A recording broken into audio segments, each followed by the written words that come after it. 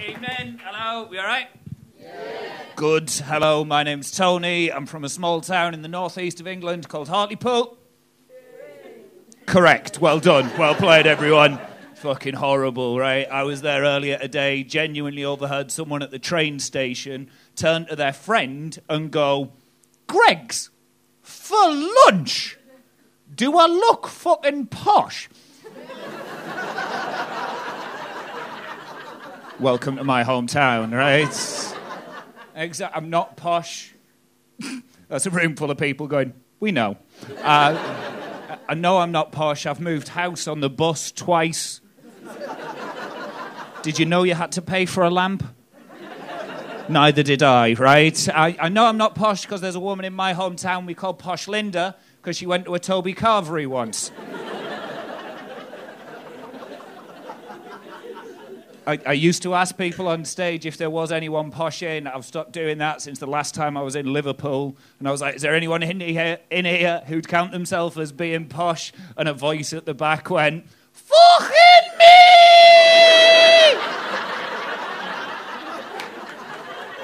now, right, I'll be honest with you. You seem like nice people. I didn't believe him, right? I'll dig a little deeper. I'll ask another question. What's the poshest thing that you own? And he went, A fucking boat! I was stumped. I had nothing to say until his girlfriend went, A boat? It's a rubber dinghy, you prick. and I mean, thanks for laughing, because that's the worst excuse at your accent you've ever heard. Uh, I, I, tried to be posh. I went down to London because that's where they keep it all now. I went down with. I went in this bar with my friend Mike. The only thing you need to know about Mike is Mike once accidentally split up with a woman. Using one sentence. He just looked at her and went, I wish you were more flexible like my sister. Thing is, right, she's not the witty one in our group. She looked him dead in the eye and went, I wish you had a bigger cock like your brother, and walked out, right? we went in this bar in London. They charged me £12 for a beer. We were in this bar for two and a half hours. We shared that beer, right? I've still got the glass, fuck 'em. Uh, while I was in there, a woman walked past me and just went, oh, I love the northern accent. Not. Now, I'm trying to think of a nice way of describing this woman. She's the kind of woman who dies in a horror film and you just think, good. it's nice, exactly. Because it wasn't even that that upset me. The thing that upset me was when she went, oh, I don't know how you poor northerners can afford to have fun. Because if you need money to have fun, just because my daddy doesn't own land doesn't mean I can't have fun. Just because if I called him daddy, he'd fucking hit me. If I knew who he was. and just because I've never had pheasant eggs for tea, and yeah, for this joke, I had to Google and find out whether or not pheasants laid eggs. That's not the point. They're not the fun things in life. The fun things in life are drinking wine from a box doesn't cost a lot of money, but if you're drinking wine from a box, you're having a good Monday morning. Doesn't matter what your boss tells you. Most fun you can ever have is still putting things in people's shopping trolleys when they're not looking. I like you people. We're going to get on, right? For those who haven't played, start easy. Condoms and an old person's, it's good for a giggle, right? Move it up a level, steak and a vegan's, they'll get a new fucking trolley. Shampoo in a bald man's always good for a laugh.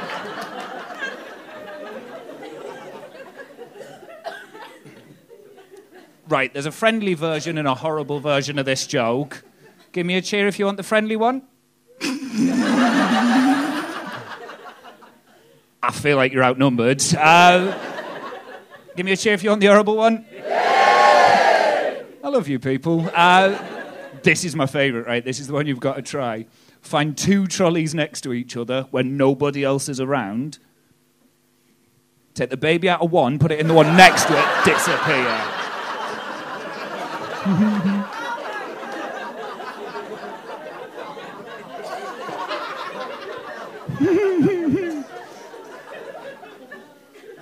so I do this for a job now. Uh, mainly because I've been sacked from every other job I've had for telling jokes like that. Uh, things like I used to work in call centers where I was like cold calling people, and there was one where I rang a guy and I was like, "Hello, sir, I'm calling about your gas and electric," and he went, "I'm not interested." And I went, cool, I'll turn it off. and they sacked me for that. Didn't feel fair. Uh, I was working for one company. I rang a guy up and I went, Hello, sir. Before I got any further, he went, You need to get yourself a proper fucking job. I said, Sir, I'm calling you at 2 p.m. on a Tuesday. On your landline. Which of us really needs a proper fucking job here? Sacked. I was working. Oh, right. I was working in customer services for a company called. Let's call them O2. It was their name. Someone rang me up. I was like, through to customer services. She went, "You've ruined my daughter's birthday." I'm very sorry to hear that. How old was your daughter? She said, 15. I said, Do you want me to ruin her next birthday? I'll take the blame on that one. That was pretty much my fault.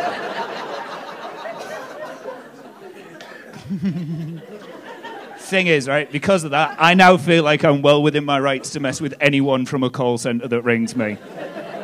Guy rang me up the other day and went, Hello, sir, have you been missold PPI? And I went, Yes. Oh, you'd be shocked how much that throws them. They're not fucking expecting it. and before we go into that, I'm just currently running a survey of people who are phone in this area. I wondered if I could take 10 minutes of your time to answer a couple of my questions. Question number one, PPI man. Who supplies your gas and electric? Very special deal on at the moment where I'll fix and freeze your rates for the next 24 months and install a new meter. How does that sound? He went, Have you been missold PPI? Uh, yes, but once we've looked at that, we can also install a solar panel on your roof to further reduce your costs. And he went, I am going to have to ask again have you been missold PPI? Uh, yes, once we've looked at that, I have a deal on double glazing. Once we've looked at that, we can also have a look at your home insurance, your life insurance, your pet insurance, your gambling insurance, your insurance for your insurance, of your pet insurance, and your home insurance, and your mobile phone insurance. And my friend, have you been sick on an all inclusive holiday in the last six years? And he put me on hold, right? Um, it was about 2 p.m. on a Tuesday. I didn't have a lot to do. I sat there, I waited. A voice came on the phone. It wasn't my new friend, it was his manager who went, Hello, sir. You've been speaking with my colleague Ben. I don't know what's happened. He seems very distressed. I went, ah, it seems like he's had an accident at work. I can probably help him with that. I've been Tony Basnett. Good night.